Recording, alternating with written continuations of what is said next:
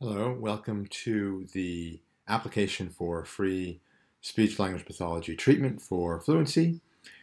Now you'll notice there's a background behind me, um, but I'm not actually at a beach. I just thought it'd be a nice uh, image to have as I speak to you. I want to explain the form. We're going to be sending this form out to individuals who um, may be interested in getting this free treatment. And the motivation primarily for us is because we want to have more before and after videos. We have a whole bunch, but they're a bit dated. We'd like some new ones.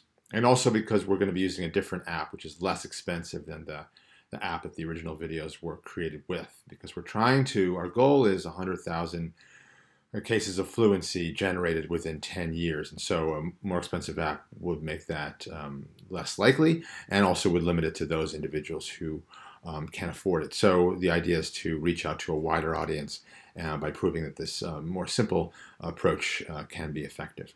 Okay, so um, I'm just going to go through the first question and then I'll make another video with a different background for the, uh, for the next question. Keep it interesting for you.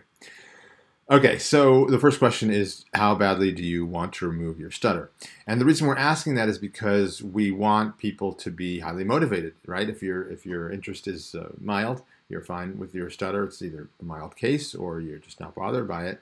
That's that's fine. But um, we're really looking for um, really um, people who are going to be motivated to do the work, and it's going to involve um, just a lot of commitment. So uh, from us and, and from you. So that's why we're just asking that question. If you if you're um, mildly interested and and uh, there's other reasons why we should include you, that's fine too. But um, the idea really is to get people who are are the most. Let me give, do one more question.